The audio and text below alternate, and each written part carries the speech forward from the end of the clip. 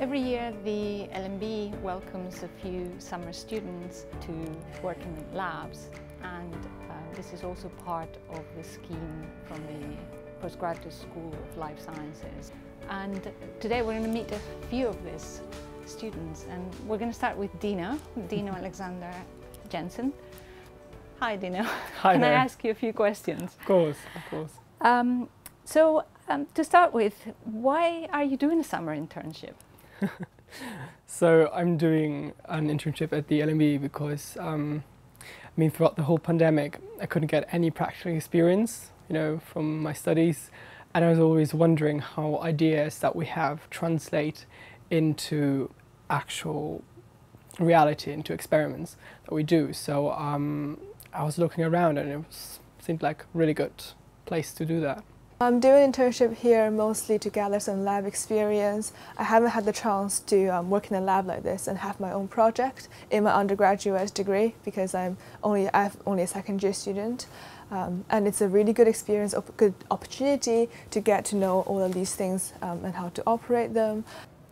to gain exposure into a real lab and actually see what it's like to be working every day in a lab because of the last year with the pandemic. It's been quite hard to get that experience. Well, I really like science and I would like to do research in the future.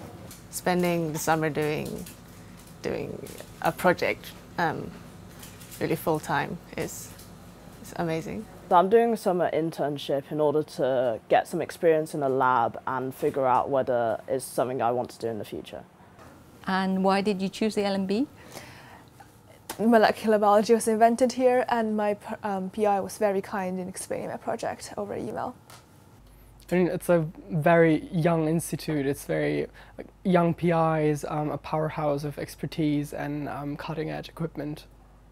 I thought that LMB is pretty much world-class research and it'll be a great experience at the future. I think I've also had friends who recommended this place to me and said um, people here are very nice and very helpful. And how did you decide to come to the LMB? Um, because recently I've become more interested in structural biology and the LMB is, well, I'd say the best place to be. Um, it's the top in the field. I kind of knew I wanted to be in Cambridge, so I just went through all of the different projects that were happening in Cambridge. And then I was interested in someone that was working at the LMB, and then I saw the studentship scheme, and then it kind of went on from there. Right, so you applied through our summer internship Yeah. program. What particular project are you doing, in fact? Actually, several things um, at how cells respond to stresses, and in particular, um, misfolding stress of proteins. And it's a very interesting field because you look at how those huge networks and huge, um, very complicated pathways are regulated and fine tuned. I'm in the cell biology department and we're working on circadian rhythms, looking at them in cells. Um, so at the moment I'm learning about um, tissue culture and keeping cells alive and then we'll be looking at circadian rhythms and the timing mechanism in those cells and also what else goes on. I found my project particularly interesting because of the circadian rhythm aspect. I've been interested in the brain for quite a while and that kind of led me down the route into circadian rhythms and then looking at them on the cellular levels is also quite interesting. So right now I'm working on, um, I'm purifying histones and we're going to do nucleosome reconstitution. So my project is I've got a highly structured piece of mRNA and I have to purify it and then I hope to assemble it into a complex in the ribosome and then view it in the cryo-EM and determine the structure of it. And why do you need to do that together with the ribosome? What, what kind of information are you hoping to get? So the significance of it is the structure of the piece of mRNA. It's got, it's rather than a straight linear chain, it's got a big loop in it. And by looking at the structure when it's in the ribosome, then you can see like how the loop affects the translation of the mRNA. There's this protein called ABU13 in um, C. elegans, so the whole, whole lab works in C. elegans research. C. elegans is a nematode. It's, uh, it's a very tiny worm. Uh, you can't really see it with your eyes, but it's a very helpful animal, animal model Um, and we're investigating, the whole lab is just kind of doing investigations on neurons, and I'm particularly focusing on this protein and how does it actually interact with other proteins to form um, special structures in the cell. And what do you think is going to be what you take home after, after you stay here? um, that's a very good question. So you you can have all those ideas and um, plan an experiment, but it may never go as planned, and that actually can be a very good thing because you discover new things. You um, come to new conclusions that you haven't thought of before. You know. I think I've already learned a lot having been here for four weeks, and um, it varies different things. So probably the one that's most important, I would say, um, is how to conduct my independent research. So this would involve me trying to design an experiment and trying to come up with hypotheses and trying to see if there are alternative explanations to my results and then to conclude um, and to draw some kind of summary um, from my or what I see from my experiments. What true research is like rather than just being an undergrad and then obviously because I'm in Venki's lab, in particular I'll learn a lot more about the ribosome and all of that associated with it. But I think it's just an experience to prepare me and to see if I like the lab.